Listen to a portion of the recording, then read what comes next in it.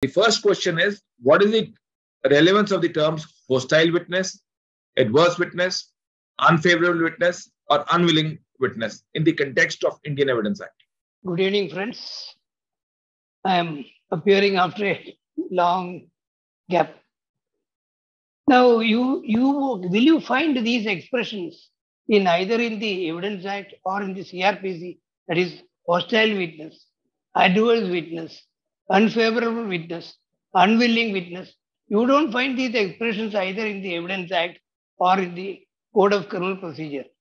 Those are all terms of English law.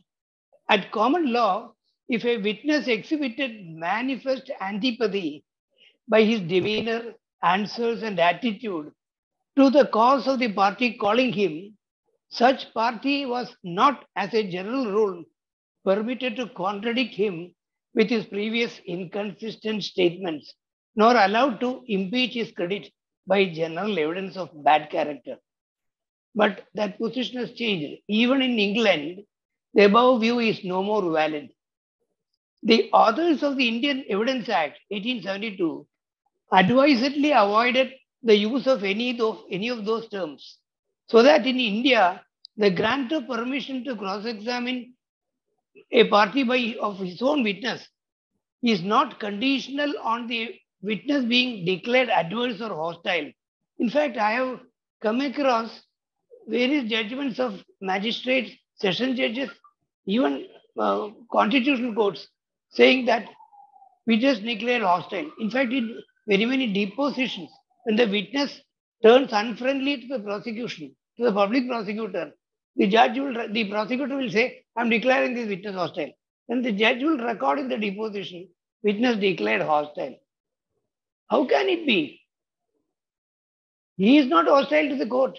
He is not hostile to the opposite party. He is not hostile to the accused.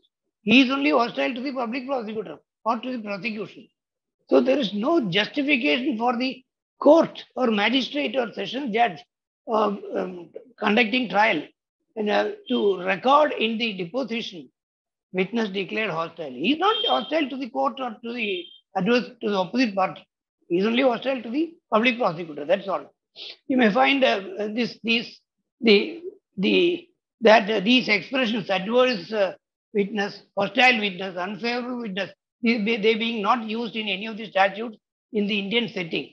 That will be you will find um, stated by the apex court by the great Justice Sarkaria in Satpal versus Delhi administration. Satpal versus Delhi administration.